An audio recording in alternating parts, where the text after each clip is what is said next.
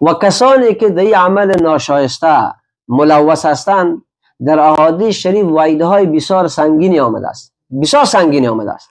و امام اعظم ابو حنیفه رحمه الله تعالی می فرماید کسی که مرتکب چنین عملی باشه یعنی عمل لواتت و عمل همجزگرایی سزای از این همان سزایی است که خداوند بر قوم لوط داده است. کدام سزا؟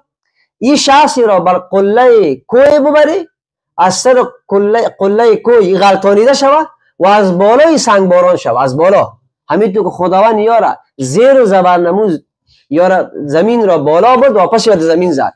و بعد از آن بر سر سنگ برید امام ابو نیفه رحمه الله میفرد که امی تو صدا به یاد داده شود و حضرت علی کرم الله تعالی و جمعه میفرمه که اینطور مردمایی که خبیث هستند خبیث النفس هستند و شاهدا شهادت بدهند چهار شاهد که واقعا ما دو نفر رو در این فعل ناشایسته دیدیم باید یا چی شوند؟ در داده شوند. و دیگه بزرگواران میفرمایند که اینطور اشخاص خبیث یا از بالا انداخته شوند و در جای, جای کسافت دانی انداخته شوند که بوی بگیرن اونجا بانشان و رسول الله صلی الله علیه و سلم که این حدیث در مسند امام احمد سنن ابی داود ترمیزی و ابن ماجه به روایت حضرت ابن عباس رضی الله تعالی منقول است میفرماید فقتلوا الفاعل والمفعول.